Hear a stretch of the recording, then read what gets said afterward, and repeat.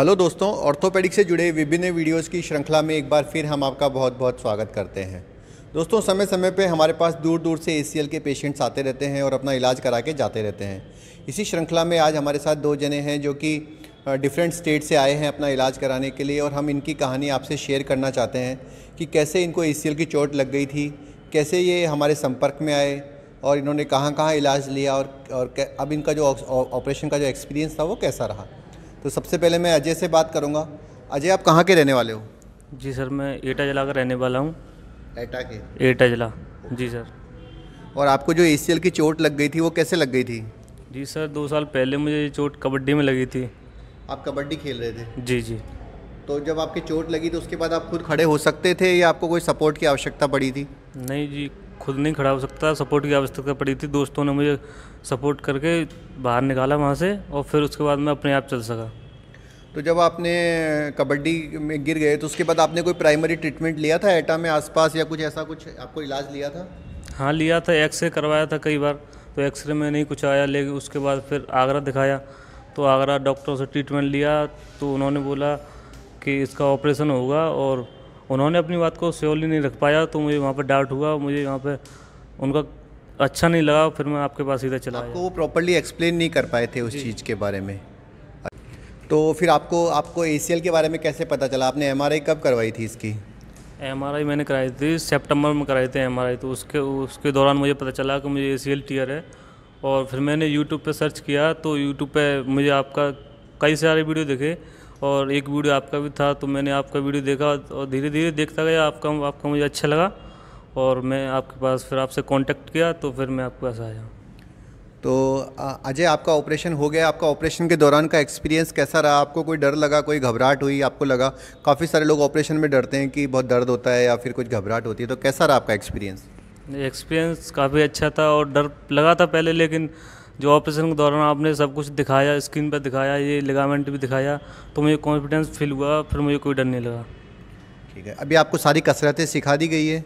हाँ जी सब कुछ सिखा दिया गया है। आपने कौन से दिन से चलना फिरना स्टार्ट कर दिया था? दूसरे दिन।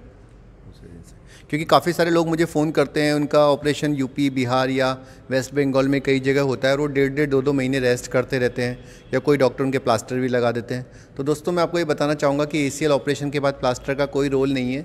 ऑपरेशन के बाद अगले दिन से ही नी बैंडिंग स्टार्ट करा दी जाती है और एक से डेढ़ महीने में आप पूरी बैंड कर सकते हो। और शुरू में जैसे कि आप देख सकते हैं, इनके पैर पे नी ब्रेस लगा हुआ है और ये वॉकर से चल रहे हैं। ये वॉकर ही पंद्रह दिन बाद छोड़ देंगे और जो ये नी ब्रेस है वो इनको सिक्स वीक्स बाद छोड़ देना है। बाकी जो इनकी नी बेंडिंग एक्सरसाइज है वो हमने पहले ही स्टार्ट करा दी है। अब मैं अपने साथ जो दूसरे फाइटर आए हैं इनसे बात करूँगा कि ये कहाँ से आए कैसे इन्हें हमारे बारे में पता चला। आपका पूरा नाम क्या है? मेरा नाम गोपाल सरकार है। गोपाल सरकार आप कहाँ के रहने वाले हो? मैं वेस्ट बंगाल के मालदा डिस्ट्रिक्ट से बिलोंग करते हो। तो मालदा से तो ऑलरेडी हमारे पास मिथुन मंडल आ चुके हैं और शायद एक दो जने और भी जो मालदा से यहाँ सर्जरी करा के गए हैं। तो आपको कैसे आपको एसीएल की इंजरी कैसे हुई थी? मैं घूमने गया था उधर पत्थर से स्लिप करके गिर गया था। तो आपको कब पता चला कि आपको एसीएल इंजरी हो गई है? पता नहीं चल रहा था लेकिन हम्म, शुरू शुरू में ट्विस्ट हो रहा था मेरे पर अच्छा। मेरे पैर। ट्विस्ट हो रहा था डर लग रहा था पहले। तो लोकल डॉक्टर में लोकल मालदा डिस्ट्रिक्ट सदर हॉस्पिटल में दिखाया। हम्म। तो उधर बोला पहले बोला एक्सरे करने का तो फिर मैंने कराया। लेकिन एक डॉक्टर आया ऑर्थोपेडिक्स उन्होंने बोला एम आर कराओ। अच्छा। एमआरआई करने के बाद उन्होंने बोला तो तुम्हारा A C L complete tear है। तो आपको सर्जरी करना पड़ेगा। तो फिर आपने यूट्यूब पे कैसे आप यूट्यूब पे आए? कैसे आपने वीडियो सर्च करने शुरू किए? तो वहाँ पर आपको क्या प्रॉब्लम फील हो रही थी? पहले ट्विस्ट हो रहा था दो तीन दिन में चलने चलने में दिक्कत हो रहा था। फिर दूसरे डॉक्टर में भी दिखाया तो उन्होंने बोला लाइफ में आप कभी चल नहीं सकोगे दौड़ नहीं सकोगे। ऐसा क्यों बोला उन्होंने? पता नहीं ऐसे ही बोला। मैंने अच्छा। फिर पूछा एक साल के आ, क्या मैं एक साल के बाद भी ऐसा ही तो चल तो बहुत डिप्रेशन में आ गए होंगे ऐसा सुन के। दोस्तों मैं ऐसा मैं इनको बीच में इंटरप्ट करना चाहूँगा। ऐसे भी मेरे पास बहुत सारे लोगों के फ़ोन आते हैं जिनको कि डॉक्टर बहुत डरा देते हैं कि जैसे आज भी मुझे गंगानगर से एक फ़ोन आया था कि उनको डॉक्टर ने बोल दिया कि अब आप नीचे बैठना भूल ही जाओ या खेलना भूल ही जाओ या अपने दिमाग से ही निकाल दो कि अब तो आप कभी चल भी पाओगे। तो आपको बिल्कुल भी हताश होने की या दिमाग में नेगेटिव सोच लाने की ज़रूरत नहीं है। एसीएल के बाद आप बिल्कुल पहले जैसे रनिंग और स्पोर्ट्स कर सकते हो और सब कुछ काम कर सकते हो।